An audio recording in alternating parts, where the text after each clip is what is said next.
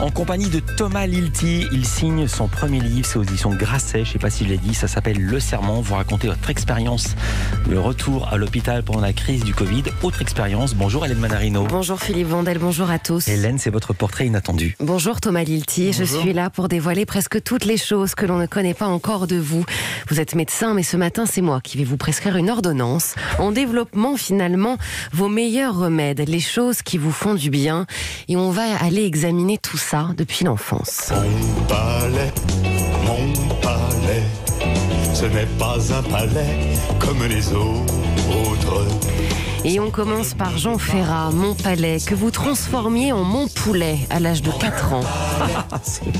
C'est trajet en voiture pour les vacances en écoutant également Barbara, Léonard Cohen, mais aussi deux chansons traditionnelles, Fleur d'épine et Dans les bois de Toulouse. Et puis la grande aventure, surtout pour aller chez votre grand-mère dans les Côtes d'Armor.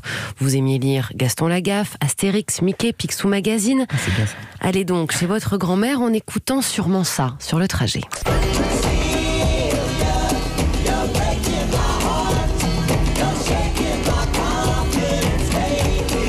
Simon Garfunkel, Cécilia, on le sait, la musique, très bon remède. Vous l'avez vite remarqué, puisqu'à l'âge de 5 ans, vous avez demandé à vos parents d'entrer au cours préparatoire pour apprendre le piano.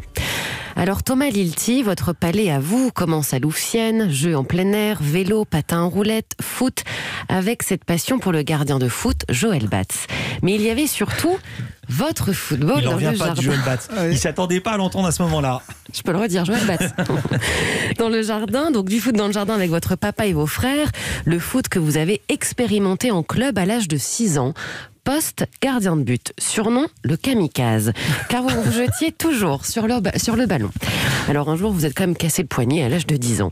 Alors Thomas Lilti, vous avez très vite compris que oui, le sport c'était bon pour le corps et l'esprit. À 8 ans, il y a eu le tennis, puis l'aviron, la planche à voile, le ski, aujourd'hui le surf avec vos enfants, mais aussi le kayak. Vous en faites régulièrement pour rejoindre l'île aux oiseaux sur le bassin d'Arcachon. Je continue Ah ouais, Allez-y, a- il y a- allez-y, allez-y, Thomas. Non, non, mais obligatoirement, il y, a, il y a eu des espions, quoi. Il y a eu un espionnage. Il y a un espionnage sur le bassin d'Arcachon. Très compliqué là pour moi. Effectivement, effectivement. Thomas Lilti, nous pouvons constater début, hein. une Qui a autre trahi Une autre pathologie, celle des jeux de société, oui en famille, Monopoly, Scrabble, Cluedo, Tarot, Trivial Poursuite. Vous n'aimiez pas jouer sérieusement, donc vous faisiez souvent le clown, surtout pour agacer les autres, pour établir votre prescription, Thomas. Et pour qu'elle soit parfaite, il y a trois éléments majeurs. Commençons par eux. Et s'appelait les copains d'abord, les copains d'abord.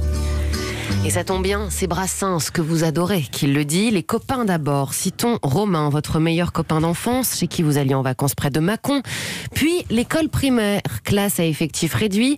Donc cinq années de primaire avec les mêmes copains, Nicolas, Édouard, Claude, Arnaud, Annabelle, Élise, Delphine, Claudine. Votre anniversaire, qui tombe fin mai, que vous célébriez toujours avec eux dans votre jardin. Tout le monde se déguisait à chaque fois. Puis il y a eu la classe de neige en CM1, cette bande de copains qui se retrouvaient donc trois semaines à la montagne. Vous attendiez cela avec impatience, mais veille du départ, 40 de fièvre. Que faire? Eh bien, vous êtes parti avec dans le bus, col roulé, couverture et tous vos médicaments. Deux jours après, vous étiez en touchous sur les pistes. Bravo. L'amitié, c'est essentiel, Thomas Lilti, une vitamine C à consommer sans, modération. Aujourd'hui, vous vous rassemblez avec vos amis pour regarder les matchs de foot. Peut-être goûtent-ils vos pâtisseries, vous aimez en faire en tout cas. Des amis que vous avez aussi trouvés dans le travail. C'est pour ça que vous avez un groupe WhatsApp avec l'équipe de tournage d'Hippocrate. Vous vous donnez régulièrement des nouvelles. Alors les copains, oui, mais il y a ça aussi. Les animaux, votre rêve d'enfant 30 millions d'amis, le générique. Bah oui. Mythique. parce que Avec vous Mabrouk, vouliez Avec Mabrouk, le chien. Vous vouliez devenir vétérinaire. Et oui, alors vous avez toujours eu un rapport privilégié avec les animaux, notamment les vôtres, la chienne Victoire, la chatte siamoise Lorraine.